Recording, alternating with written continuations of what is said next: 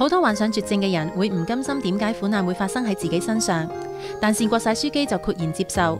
为什么不是我？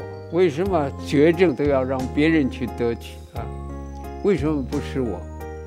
加上你不知道死亡你怎么知道这个生命它有什么意义啊？生命恩泉今个星期日下午四点三十五分同大家见证善国晒书记点样喺人生嘅尽头当中仍然能够怀住希望同埋喜乐咁样活出爱嘅福音。